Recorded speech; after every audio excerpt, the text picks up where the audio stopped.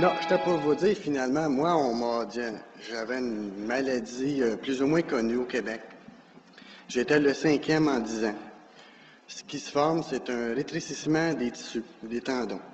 Autrement dit, je pense que tout le monde a déjà connu c'est quoi une crampe dans un mollet. Alors j'étais comme ça, souffrant de la tête aux pieds.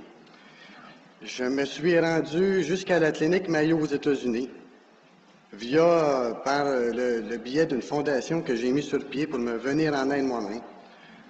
On a ramassé 35 000 avec des amis et tout ça, et puis je me suis rendu à la clinique Mayo. Les médecins américains, ben encore le même problème.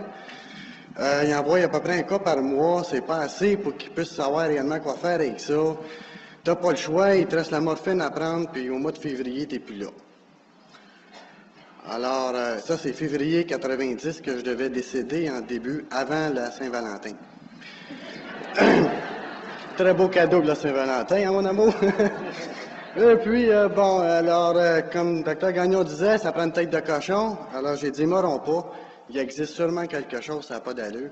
Et puis, un type que j'adore beaucoup maintenant qui m'a parlé de la rhumat. Et puis, euh, j'ai Monique qui m'a offert l'appareil chez moi. Je l'ai essayé. Et puis, euh, au bout de 10 traitements, je, me suis mis à marcher. J'étais en chaise roulante, je ne marchais plus, je ne voyais plus rien. Maintenant, je suis debout, je vous parle, je suis heureux d'être là. Et puis, j'en ai encore pour au moins 100 ans. Bye bye.